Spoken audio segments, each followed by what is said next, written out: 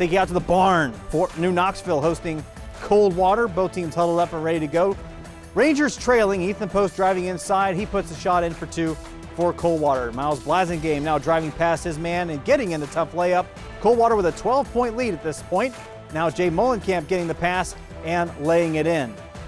Post getting the open look, burying the three. Coldwater pulling away at this point. Now Carson Beerline answering back. That's Mullenkamp, brother. He drives past. 14 point lead for Coldwater, but Carson Beerline answering back with the three for the Rangers. Now Sammy Anspaugh trying the layup. Beerline getting the easy putback layup there. Coldwater still up 10. Post getting the pass and nice post work inside by Post, getting the tough layup. Rangers answer back, Beerline driving and getting the turnaround shot. Then Carson Mullenkamp with the open look, burying the three.